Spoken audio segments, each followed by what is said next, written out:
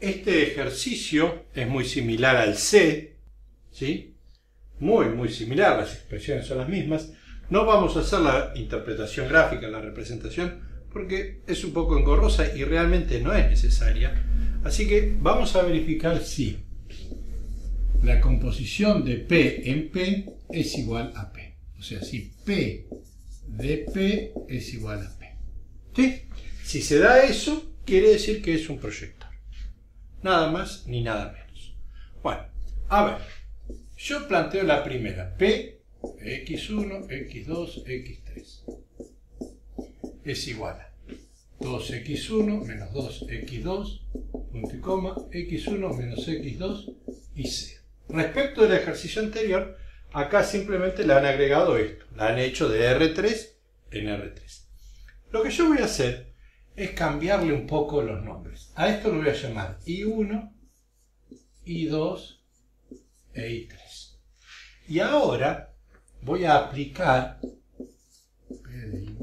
perdón, esto sería I1, I2 e I3. No hay una P acá. Esto es directamente I1, I2 y I3. Ya es el transformado. Voy a aplicar, para hacer la composición, el proyector, la transformación a todo esto y a todo esto. Entonces voy a decir que P de P de X1, X2 y X3 es igual, me salteo esto, a P de I1, I2 e I3. Voy a tratar de evitar la confusión que es muy fácil de, de sufrir acá, que a mí incluso me pasó en el ejercicio anterior, en el video anterior.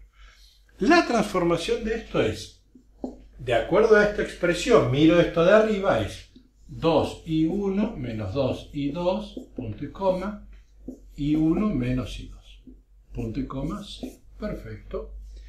Pero ahora, ¿qué me falta? Ponerlo en función de x1, x2 y x3. Y para eso yo ya sé que i1 es todo esto, i2 es todo esto, e i3, que no aparece, sí. Así que voy a hacer esa sustitución. Sería 2 por I1. I1 es todo esto.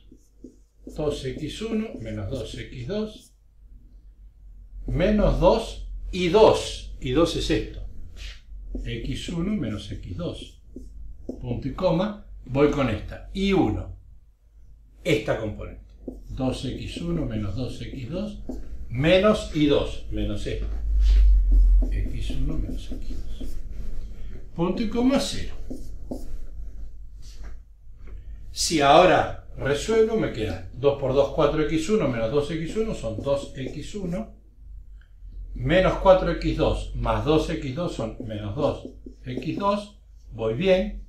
2x1 menos 1 me queda x1. 2x2 menos menos x2 es menos 2 más 1 menos un x2 y 0. Y me fijo que P o P, que es P de P de x1, x2, x3, coincide, es igual a P de x1, x2, x3.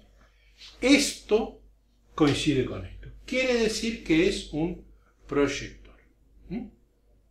Si ustedes buscan la matriz de la transformación, se los voy a dejar a ustedes, van a poder verificar que como es un proyector, A al cuadrado, o sea, A por A es igual a. Es una matriz idempotente. Entonces, sí es proyector.